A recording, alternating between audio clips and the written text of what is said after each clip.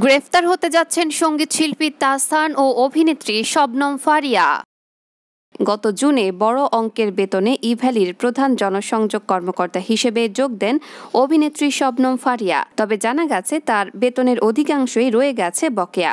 গত দশ মার্চ অনলাইনে ই কমার্স প্রতিষ্ঠান ইভ্যালির ফেস অব ইভ্যালি শুভেচ্ছা দূত ঘোষণা করা হয় তাহসানকে। তিনি শুভেচ্ছা দূত হওয়ার পরের মাস থেকে প্রতিষ্ঠানটি বিতর্কিত কর্মকাণ্ড ও গ্রাহকদের পণ্য সময় মতো পৌঁছে না দিতে পারায় তোপের মুখে পড়তে থাকে। সব দিক বিবেচনা করে মে মাসের মাঝামাঝি সময় ইভ্যালি থেকে স্বেচ্ছায় সরে যান তাহসান। সম্প্রতি আলোচিত ই কমার্স প্ল্যাটফর্ম ইভ্যালিতে প্রতারণার সঙ্গে যদি সংগীত শিল্পী তাহসান ও শবনম ফারিয়া মিডিয়ার দায় থাকে, তাদেরকেও আইনের আওতায় আনা হতে পারে বলে জানিয়েছেন সিআইডি। এক সংবাদ সম্মেলনে সিআইডি এ কথা জানায়, গত ষোলোই সেপ্টেম্বর ইভালির সিইও রাসেল ও শামিমার বিরুদ্ধে অর্থ আত্মসাদের অভিযোগে গুলশান থানায় একটি মামলা হয়।